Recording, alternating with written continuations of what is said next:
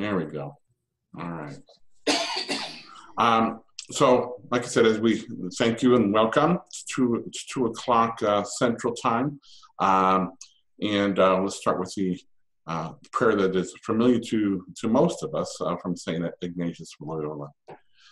Take, Lord, and receive all my liberty, my memory, my understanding, and my entire will. All I have and call my own. You have given all to me. To you, Lord, I return it. Everything is yours. Do with it what you will. Give me only your love and your grace. That is enough for me. Amen. All right. So um, again, what we always like to do, um, just with, when we start these presentations, is just to give you a little bit of orientation about the the way these these presentations are designed, and um, and, and, and we talked a little bit about we kind of put it in perspective as to how JVLA's professional development is put together. Okay, and so you know we, we, we do a lot of different types of programming, and you'll see there on the as you'll see there on the on the the the, uh, the diagram there and as you move further to the right, it gets more complicated, it gets more robust, and we really are, the expectations go up as you move to the right, really. Um, and so, you know, really as you're, as you're moving toward more simulation, planning, sharing coursework, and so on, you're really talking about trying to, to, to really enhance teaching practices at that point and to really start diving more deeply into and tinkering with and doing more. Um, we're only in the presentation and webinar mode today, which is really about demonstration or about providing information. Um, uh, we really don't expect a whole bunch of, of people to change practice based on what you're going to hear today, but we hope you get some good information out of it. Um, so the goal for this pre particular presentation is to share information regarding a hybrid collaborative, which I spelled incorrectly there, learning model, uh, which is being deployed by Seattle Prep, um, Verbum Dei, and Red Cloud. Okay, um, so with that, um, we're going to just walk through some panel, uh, uh, some, um, some. We're going to have some panelists just talk about their experience, how we got to the point we are in terms of these classrooms. Um, Mike Kelly is going to start off just providing a little bit of information about um, uh, Seattle Prep is really sort of the the was was the original driver of it, and the ones who approached JVLA about the this possibility. Then I'll talk a little bit about the planning part, things that we did to kind of prepare for the experiences, and we'll talk about the teachers, uh, give them a chance to talk about their their class and what it's like. We'll hear from a moderator and that perspective. And then we're really lucky to have uh, Tilani Jackson, uh, Tilani Jackson with us today from Red Cloud High School. And we really want to particularly say thank you to her today since she didn't even know she was doing this until a few hours ago. She's actually subbing for another student who was going to be helping us today. So, so thanks for being so brave um, and for stepping up to do this after those presentations, we're going to go and we're going to do some Q. Uh, we're going to have a, a Q&A. Um, on your screens, you're going to notice that there is a Q&A button on the bottom and there's a chat area. Okay. What I'd like you to do is, is to use the Q&A area for your questions, right? It makes it just easier for us to follow along. If you have some general comments you'd like to make about, you know, and you want to share something with panelists or that sort of thing, go ahead and use the chat area. But, but please reserve your questions for the Q&A area, okay? Um, so what I'm going to do now is I'm going to stop sharing and I'm going to ask Mike to do um, to do his his little part of his presentation. Mike, you want to Absolutely. So thank you, Jeff. I appreciate the introduction and welcome to everybody. Uh, my name is Michael Kelly and I'm system principal at Seattle Prep uh, School in Seattle, Washington. And it's been a joy to collaborate with the people involved here. What I want to do is I just want to give a, from an administrative team lens, um, why Seattle Prep would create the space and the resources necessary to drive a program like this. So for us as an admin team, uh, really driven by our president, Kent Hickey, uh, we were taking a look at the documents from GC36 and the call for us to collaborate and network um, with new technologies. So that was kind of the fundamental question for us was, well, how can we go about this? How can we create new companions through this document in GC36 that calls us to collaborate and network with others through new technologies? We also happen to be in a unique situation where we're transitioning a relationship with Seattle U from a previous program we had. And so we started to engage in conversations with people at Seattle U But for us, the driving um, vision was how can we get students that bring um, a different context to the table than our students that also have a shared mission, our Jesuit Ignatian mission, our grad to grad, and engage in curricular ways that um, that are authentic and use our technologies to bring students into the classroom that are separated geographically and by time zone.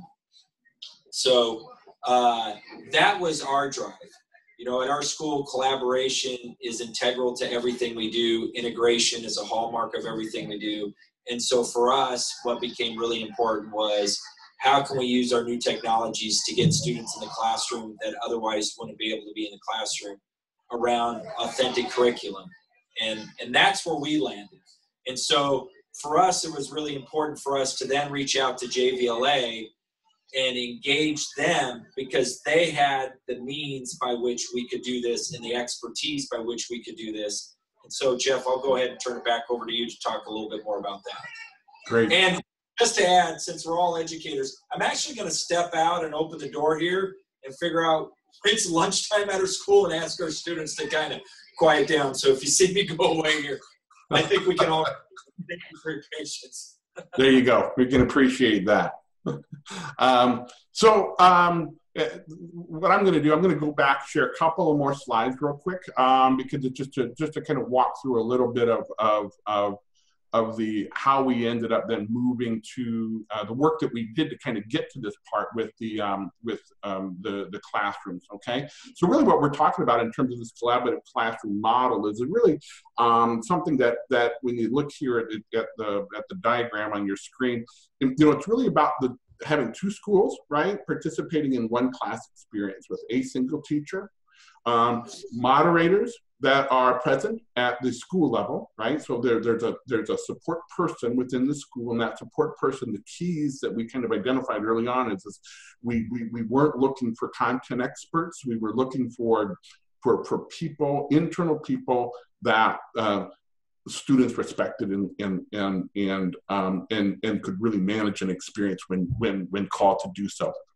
and really willing to to help up and partner with the, the teachers in terms of saying hey these are the things that are working. Hey can you i've got some students here who have questions about x. So really just trying to serve as a as, as an extra resource to help um, um, um, integrate some of the the extra components in the hybrid model the in-class experience along with the online experience okay?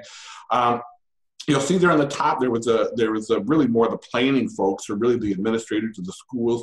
We had the, the teachers attached to some of the earlier conversations and obviously JVLA's team um, then the, the, moderators. And then as you can see there really is the keys in terms of the the um, the, the, the, the, the, the arrows on the screen are really about the ways in which we dialogue with one another and and primarily how that happens okay?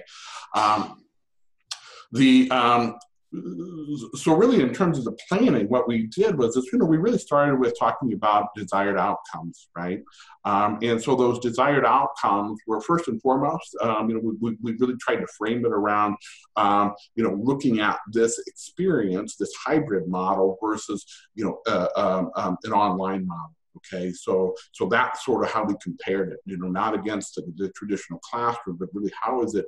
Um, you know, what are our desired outcomes um, versus an online? Okay, so really the first and foremost was really about performance, um, and we, um, we, we we were really trying to to to design a hybrid model um, that that would demonstrate um, its effectiveness through um, through higher rates of on-task um, uh, performance, right? Um, versus our counterparts in in online. Okay, um, and so and and we we we believe that um, not surprisingly that as you know on task performance uh, goes up, so does grades, right? So that's sort of a, a, a, one, one of the obviously the biggest drivers, right? This is really about the learning.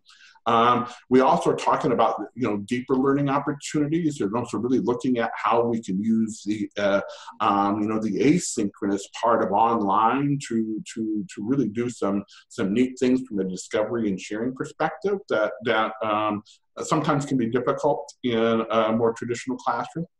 So how do we really leverage that in, in more meaningful ways? Um, improve learning skills and increase self-efficacy in online learning right? So, um, you know, really it's about trying, just like in our online classes, is, is, you know, is really trying to pay attention to those learning skills and helping students become more independent, um, reinforce self-regulation. And really that's part of, um, you know, what, what we espouse to do through, you know, the ways in which we interact with, with students through our, our, our coursework, but also one of the things that we ask um, the moderators to, to help us with really in terms of, you know, um, trying, trying to reinforce those skills as well. And then that last part, in terms of exploring new models of collaboration, this whole project is, is really about um, is, is really is really about that. Okay, so um, the what we did then in terms of the planning, we kind of did it in, in two sections, and I'm just going to walk through this really quickly. We started out just with some, you know, some obviously some bigger things and some bigger conversations, um, and that was really around, you know, um, you know, what do we envision collaboration between the students and schools to look like? Right? Um, and then we talked more specifically about the hybrid design, um, and we tried to just to come up with uh, you know a couple of uh, models that we thought might be effective. Um, and then we again we talked more about the asynchronous components and really looking at that those asynchronous components and trying to say okay um, you know how are we going to use the, the asynchronous time you know whether it's actually in the classroom or or or the students you know out in in um, in their communities to drive deeper learning? And then that last part about how can we optimize our impact care and support of students right? The big one right um, and so those were sort of you know the first things that we talked about. And then as we walked through those and we got to that second part and we started talking about the practical right? Um, is really where we got to the second part. So all this is in one big document and there's some other things that kind of fall in, in below there.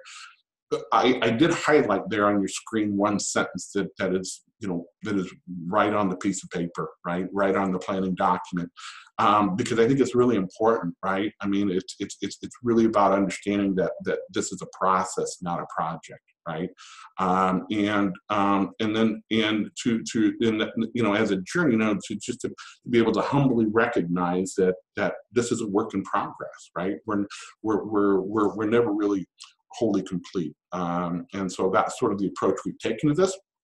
So the first thing we did then was I said, hey, you know, what what about, you know, regarding the, the tier one conversations are most important and what are the things that we need to make sure to pay most attention to?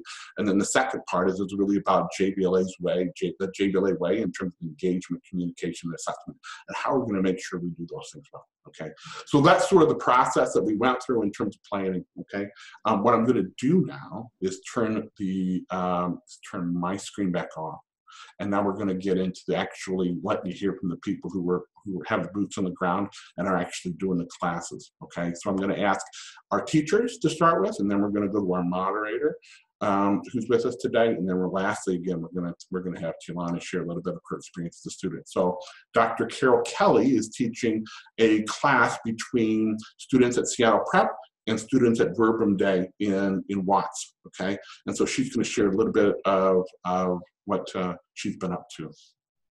Hi, thanks so much for the introduction, Jeff, and hi to everybody who's out there online. Um, I'm going to try to do a little screen sharing as well. I, um, based on what Jeff said, just want to highlight the um, the interesting component of this, especially from the perspective, uh, my perspective, um, and that is the the balance between and the interaction between synchronous and asynchronous uh, uh, learning that the students uh, have to deal with on a regular basis. So, in terms of designing the curriculum, curriculum, it's a little bit different. You want to be thinking um, how much time the students will have asynchronously and how can that time be used effectively when they come back together in a classroom in a synchronous session online? And um, the exciting part about this for me is um, this the environments that these students are from are extremely different uh, the level of diversity represented between students going to Seattle Prep and living in uh, the community that they live in in Seattle and the community that students at Verbum Dei live in is, is wildly different. and the class I teach um, focuses on diverse populations and how they're represented um, in terms of the arts. So I'm finding that this balance between synchronous and asynchronous learning is pretty interesting. I- I'm going to try to share a little bit of my screen with you. Um, uh, this one in particular, if you can see that. So this is uh, this is an assignment that I gave uh, the first week, and I asked the students to go out into their community and uh, see what they could find that represented the tension between multiculturalism and the concept of a melting pot. So knowing that the students who live in Watts are going to see very different things on the street that the stu- than the students in Seattle are going to see. And this is just a little bit of an example um, of the difference. So this is a student uh, who took a picture that happens to be Cap Hill, right by Seattle University, uh, where I teach. And this is a student who selected something from um, his neighborhood, literally right around the corner from his house in Watts. And and um, the students, this was in a forum, so students were analyzing not just uh, um, uh, what they see in the cityscape, but rather how that's representative of this tension. And then they, uh, between multiculturalism and the melting pot, they were analyzing both the art and then they were responding to one another's viewpoints.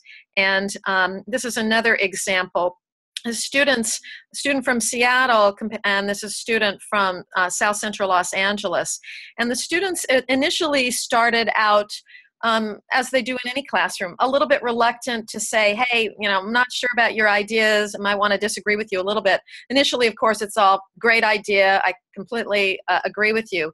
But as the conversation went on and the images started to shift and change, what I found was that students became more willing to spend that asynchronous time really looking, really looking at the ideas of another student, which they often don't have in a regular classroom. Someone shares something and then you move on to the next person, and then that conversation stops. Online, the forum continues.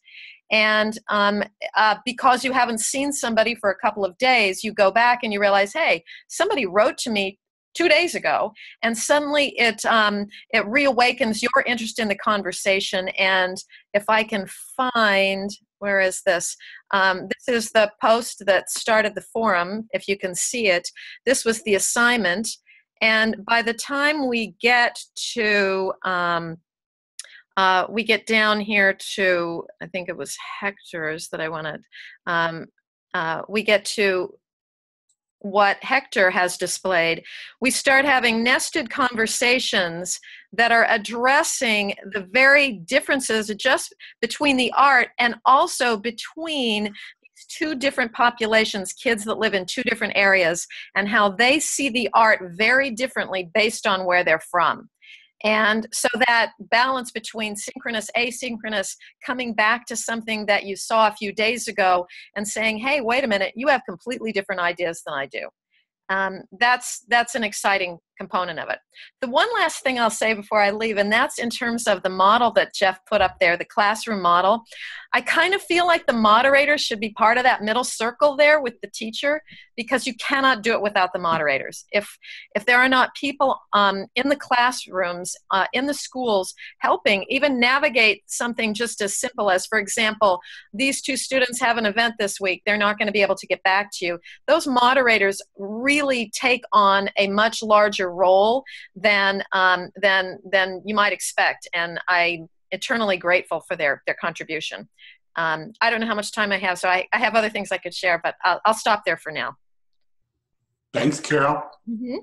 Um, so Steve Hessler is going to share a little bit. So Steve's teaching a second class on economics, um, entrepreneurship, and ethics.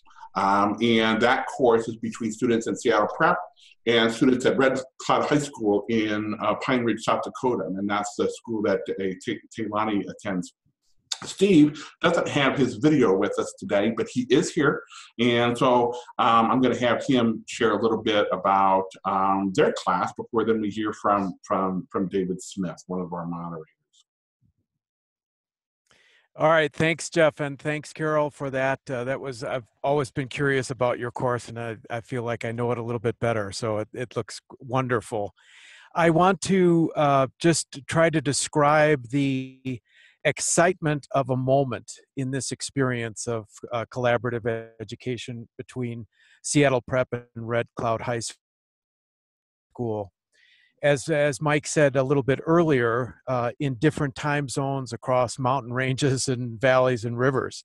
Uh, because I've been uh, teaching economics for about four decades now, and and uh, I've wondered, uh, you know, how how to excite and and get students to really see the power of economics as a discipline, and to kind of integrate it or bring it into their life as a way of uh, using it as an optic with which to view the world a little bit differently.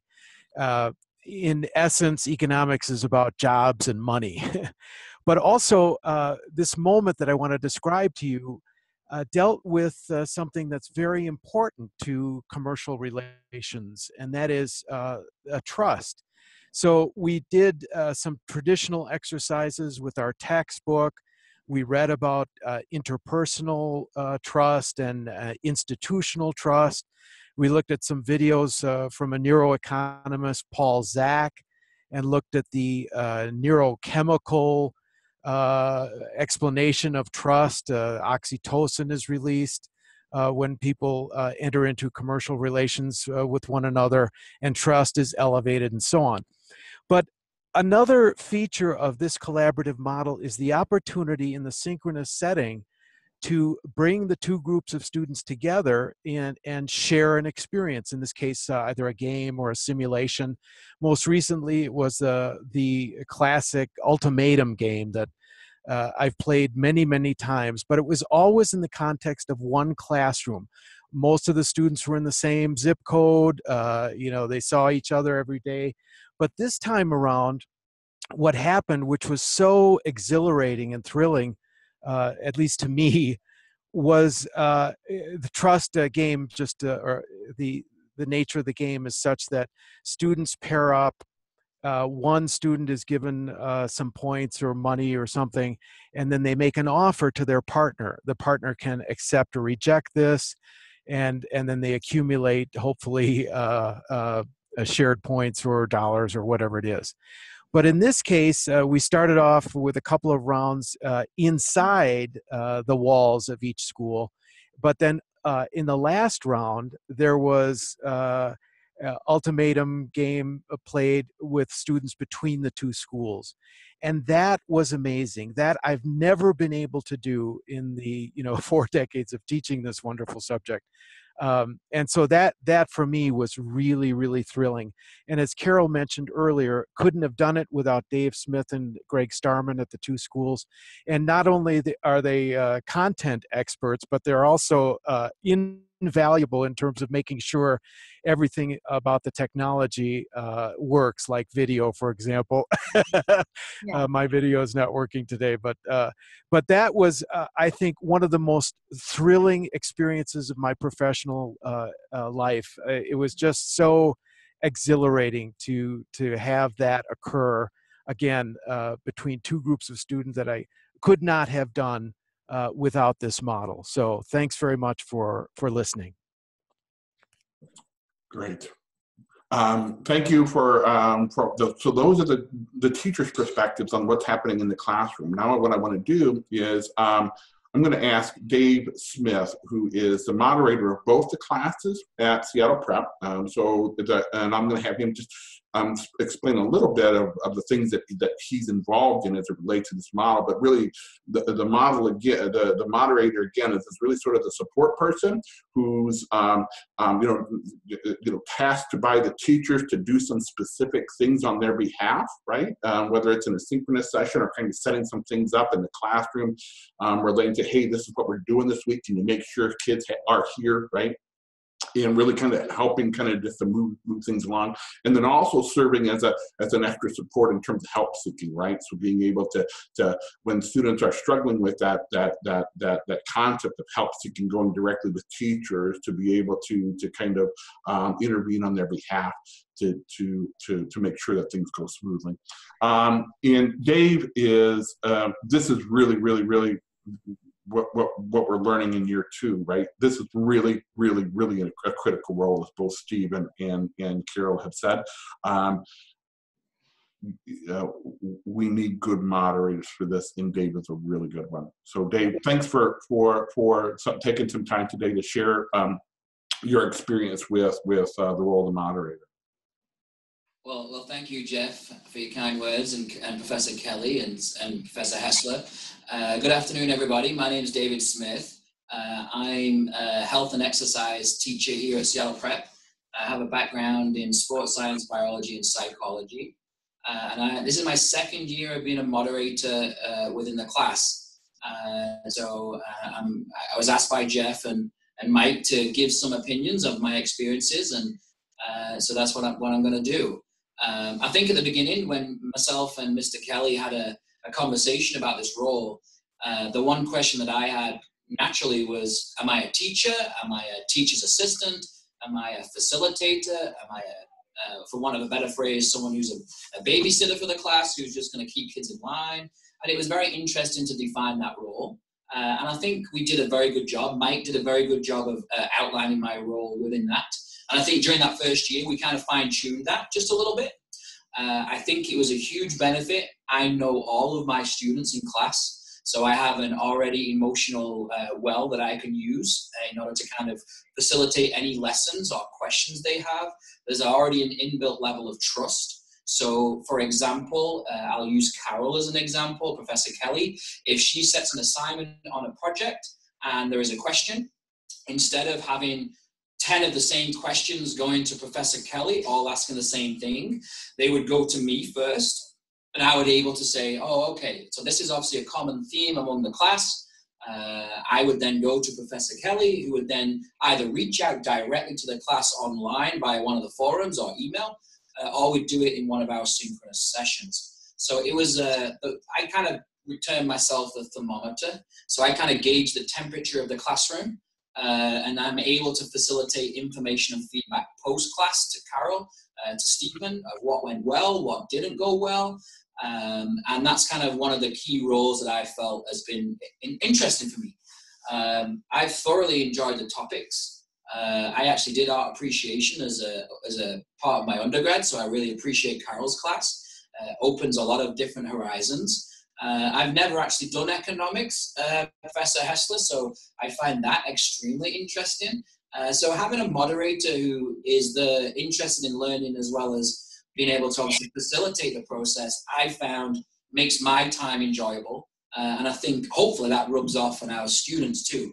Uh, you know, it's not a case of me sitting in a class and moderating a class, and as soon as the bell goes, archetypal, everyone leaves. Uh, there's a little bit more to it and connection than that. Uh, and I've really enjoyed the. Obviously, I'm English. If you haven't already figured that out, so I really enjoy the cross-cultural uh, diversity of working with Verbum Dei uh, and Red Cloud and seeing things from a different perspective that most of our students here at Prep perhaps don't get the opportunity mm-hmm. to do. Uh, and, and, that, for me, uh, lends conversations that go beyond the walls of the classroom. So kids will talk to me in the halls or they'll ask me in a different class about something. And that, to me, shows we've kind of planted a seed. Uh, and those kids are thinking about things differently, which is exactly from my perspective of what the course is designed to do. Uh, and and quite frankly, I've thoroughly enjoyed those lessons. I sit down as a as a staff member, and I really view myself as a student because uh, it's it's a really enjoyable experience. I just lucky for me, I don't get graded on my work, so but other than that, I find it thoroughly enjoyable. David, thank you so much. It's um, it's wonderful to have you the part of it. Now for the the this is where the, the this is the showstopper. This is the person we really all want to hear from, um, um, because it's really hopefully the person who's being impacted most through this experience. Um, um, so Tseleni uh, Jackson is a student at um, Red Cloud High School in in Pine Ridge and she is um, in uh, Dr. Uh, Hessler's class. Um, and so I'm going to ask her to just to provide um, just some thoughts about about her experience so far. Um, well, like the class topic, I didn't, I never knew like how connected the three things were: the ethics, entrepreneurship and economics until the class. And it's like helping me realize, like, especially with our last unit, the value and trade, how like how present like the three aspects are in like value and trade specifically. And um, I think like the the meetings we have um, are like really helpful like than if it were just an online class um, because we get to like uh, like hear from the other students and in the forum discussions like after we post ours we can read what they say and like kind of compare and contrast their ideas with our own um i think i would like it if we could like meet more often if that were possible and um yeah that's Good. Tho- Those are all valuable. It, it, the, and one of the questions I think that most people were going to, uh, one that I know that my, uh, Mike Kelly is particularly interested in is when we've talked about the number, right? What is the right number for the synchronous sessions? So I'm glad you brought that up as being something that you value um, and you'd like to, to see more of. Um, I think that's, um, that's a nice reflection and, uh, from you, so thank you. Um, we are now at that point at 2.32 so we've made pretty good time here um, but it is time for the q&a um, and so what we're hoping is that um, you you have some some some things you you'd like um, any of the panelists if there's a particular panelist that you'd like um, to to ask your question please when as you're asking the question in the Q&A go ahead and, and make sure we we know there's a particular person. Otherwise um, we'll just try and field them as, as best we can and, and get the right person responding. Um, so with that I this is always a period where we need to wait a little bit and see um, for, for the questions to come in. So um, in the meantime, do any of you other folks, any of your other panelists have anything um, in terms of maybe Taylani's reflections, any, any, any personal thoughts relating to, to, um, to her reflections that you have? I do, I do, Jeff. Uh, to, you, you kind of hit on it, but Taylani, just hearing the students say that I'm thirsty for more interactions, that was um, something like Jeff, you said that's really important to us at Seattle Prep from a high level. Like we get that we have technology, and we get that we can do traditional kind of online classes. What's really key for us and what we're still trying to, it's gotten better from year one to year two, but but we don't engage in this if our if our kids can't see each other's faces and do some of the kinds of work that uh, Professor Kelly, Dr. Kelly, and uh, Steve talked about. For our students to be able to see the face of Talani, and for her to see the face of our students and have as authentic and genuine interactions as technology can allow for, is really what's high stakes for us here as an admin team. So of course there's got to be meat with curriculum, but we kind of view that word companionship as kind of a sacred word. And really what we're hoping is in some of the reflections at the end of the year when we really get there is that our students are talking about kind of being companions with students from Red Cloud or Verbum Dei or wherever this might lead us that's really uh, of really high importance to me as as as an administrator. And so just hearing Tilani say that um, just gets me fired up. That's good. All right. If Yes, I could yes, Steve. just, uh, uh, add to what uh, what Mike said and to express my gratitude for uh, Taylani uh, did a great job. Um, and again, uh, thanks from all of us for for giving up your time and and uh, your and sharing us uh, sharing with us your input. But it was it was good to, uh, and I want to add my voice too to the uh, to the derived demand for more synchronous sessions. And I know that that was worked out ahead of time, and it's a coordination issue between the schools and so on. But I agree with you, Taylani. There's there's more we could do. I'm sure uh, with Professor Kelly. There's more that can be done. So that's an area that uh, that we might want to circle back and and uh, and look at. What's the optimal number of synchronous sessions? But uh, uh, Taylani, thanks, uh, thanks very much, and Mike and and Dave, thank you too. Yeah. I will mention because this is really um, um, the, obviously the, the, the tools, the one that we're using right now in terms of Zoom, um, they're they're becoming pretty sophisticated. There's some really great um, resources. They're they're much more reliable than they were even a couple of years ago. But but but the the the hard part um, on the planning side, and the reason that you know we, we uh, even just with the two schools um, it's difficult. It's difficult coordinating time. Mm-hmm. Um, your schedules are different. Um, you know, just trying to work that in is is is a difficult task that that um, um, schools just kind of need to recognize on the front end the effort that it really takes and the commitment that it takes um, to, to to do this. So because and, it's a big commitment. I, would just jump in on that too, and maybe even ask Taylani um, if she has any insights. For me, as a teacher, uh, I, I've um, created at least two assignments uh, in the semester where I've cre- uh, put groups together, and the groups are half of my students from one school and half from another. Um, and as Jeff said, though, it's the timing issue. You know, I give them a week or two weeks to work together, but of course, their their school calendars are so different, and the events that they participate in are different from school to school. And so, my uh, one of the questions I have going forward as a teacher is how can I more effectively um, create an opportunity for students to come together. Um, for example, I put them in a group to come together and do a group presentation, as you would in a regular classroom, but um, they're from two different sides of uh, the Pacific coast. So, uh, how to get students. Um, I mean, I know kids are technology whizzes and they can communicate on FaceTime, perhaps things like that, but how to really navigate that um, as a teacher to make sure that students are able to connect even outside of the synchronous sessions with one another is an important component for me that I've, I've, I've found to be uh, challenging and that I would love um, some better answers for.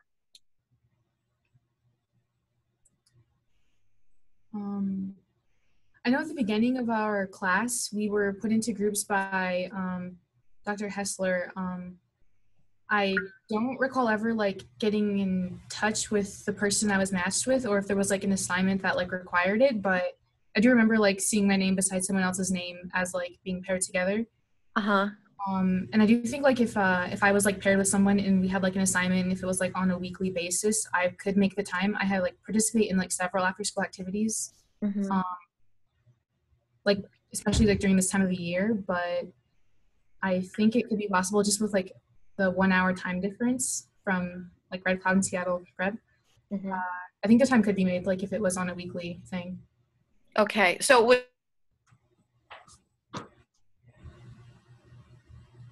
would be better if it were perhaps in the semester. You're saying? Yeah. Okay, that's a good insight. Thank you so much. Thank you. You can't you can't imagine how much it helps to have a student have student input for a teacher.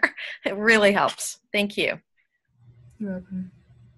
I think some of the enjoyment, like David talked about the enjoyment on being on this. For me, from my lens, some of the selfish enjoyment I have is I've got people that I didn't know two years ago and I've been able to engage in meaningful and thoughtful conversations about how we can serve our students in, in better and more meaningful and more creative ways. It's been an awesome experience for me to collaborate and in terms of just teamwork, David talked about being a coach, I'm being a coach. It's really been fun collaborating with a group of people that have all been willing to uh, make sacrifices, uh, for lack of a better phrase, give up a little skin. In other words, they've adjusted, all schools have adjusted their schedules a little bit, professors have adjusted their schedules a little bit. Um, it's really been fun.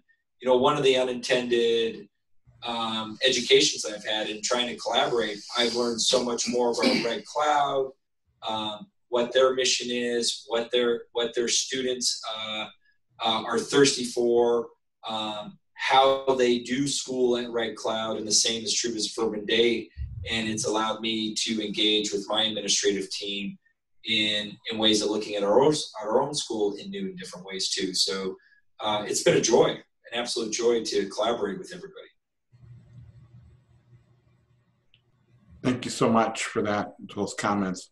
Um, we, I think we must have done a really good job of presenting because we, we, we don't have any questions from, from the participants, which like I, I mentioned at the beginning, sometimes, you know, um, that does happen. And with Thanksgiving um, approaching in two days, um, I think we're probably all ready to go home and start making preparations. So thank you so much uh, to all the panelists and for all the participants who took time today to spend with us um, to learn more about this important project. Um, and um, if you do have any questions moving forward, you know, over the week, oh, we got something in the chat. Oh, okay, just a, from Jen. Okay. You know, please feel free to, to send me a note. Um, um, you all know my email address at, at JVLA, um, and I'll be sure to forward that information on to the appropriate party for additional responses. So take care, everybody. Have a great Thanksgiving. Happy Thanksgiving, everyone. Thank you so much. Bye, Mike. Bye, Dave. Bye, Carol. Bye, Bye, Talani. guys. Take care, David, Jeff. for everything. Lonnie, Bye. thank you. Bye.